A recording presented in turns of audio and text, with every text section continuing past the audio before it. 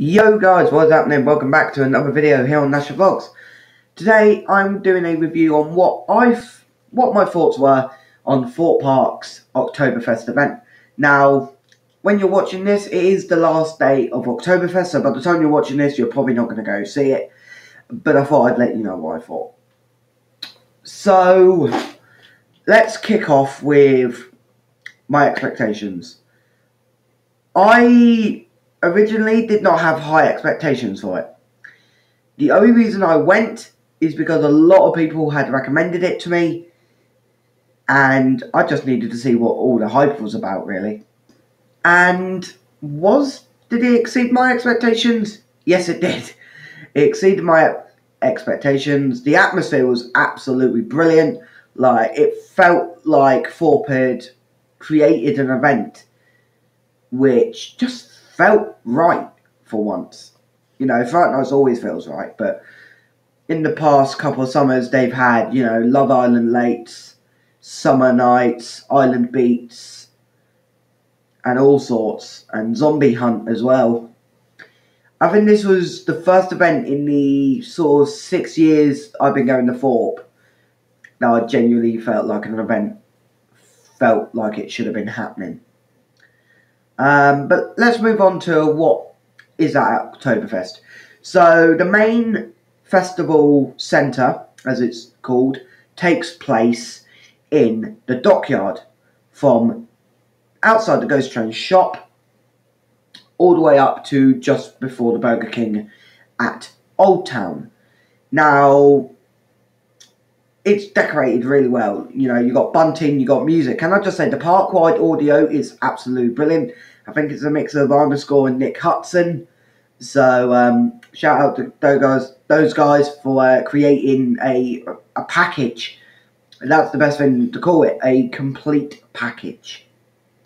Also in the festival centre, you have got loads of like food stalls uh, and the main beer bar, as well as the, the Bavarian um, Arms just down where um, Wilderness Bar and Kitchen normally is. Now, there is a stage there, okay? The first criticism I have to give to this event, and it really hurts me that I have to give this criticism, is that there was a lack of live entertainment, okay? Now, yes, you did have roaming actors, and these roaming actors were absolutely brilliant. Shout out to the Thorpe Parks uh, entertainment team for putting that together. But, but, there was only really live entertainment on there uh, on the weekend days, which meant the area felt a little bit. It lacked something during the week.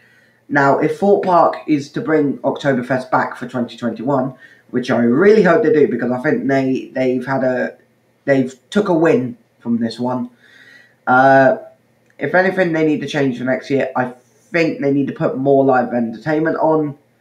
Um, maybe like during the week you have a singer or something. You look at Alton Towers; they had entertainment on there every single day, whereas Thorpe only had it on the weekends. So If you're watching, take all our criticisms to improve the event and please bring it back next year. Um, obviously, Oktoberfest uh, on the weekends does uh, give guests the opportunity for night rides before Fright Nights. And I was happy with that. You know, it's only 10 a.m. till 8 p.m., so it's not like 10 a.m. till 10 p.m. like in previous years. But the fact that I got a night ride on Colossus and Saw, you know, and for once Colossus was actually slightly smoother to an extent. But um yeah, just in general, like the atmosphere was brilliant, especially at night. Um I had just finished doing like uh, the night rides about probably 10 15 minutes before uh, the end of the night. So I spent the last 15 minutes with a couple of people I knew um, and just had a wonderful atmosphere, singing, dancing, and it felt like it felt like a concert. It felt like it did. It felt like we were at a festival that got cancelled, and it was brilliant. And I really hope Thorpe Park do more of these sort of like atmosphere slash live music events. Obviously, they have done live music events in the past. Uh, those who remember back in 2015, they had uh, something called Island Beats, which, yes, Island Beats was a mix of night rides and an upcharge concert, but they had two stages there that year. They had the main stage down by Cantina, where uh, that year My Bloody Valentine would be, uh, which had like big acts like Little Mix, Rizzle Kicks, uh, which was an upcharge, I think about about about ten to fifteen pound, and then you had a little mini stage down by Tidal Wave with like local acts, and like in the past, I think they had a sh- summer showcase which was in the dome and they used to have live music. That was like 2013 14. Um, but yeah, me personally, do I think Oktoberfest is going to come back in 2021? Yes, I think they should bring it back and I think they will. Um, and can I just talk about Umpa Rapids, the little sort of mini retheme of um, Rumba Rapids for Oktoberfest?